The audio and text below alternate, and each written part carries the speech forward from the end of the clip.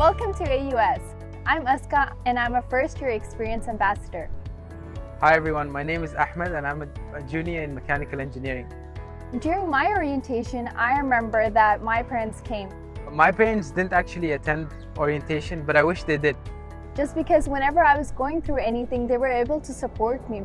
Because especially in the first semester, a lot of students undergo a little bit of pressure, especially transitioning from high school to university life. So I believe it's a really good opportunity for parents to really come in and see exactly what their son or daughter is going through.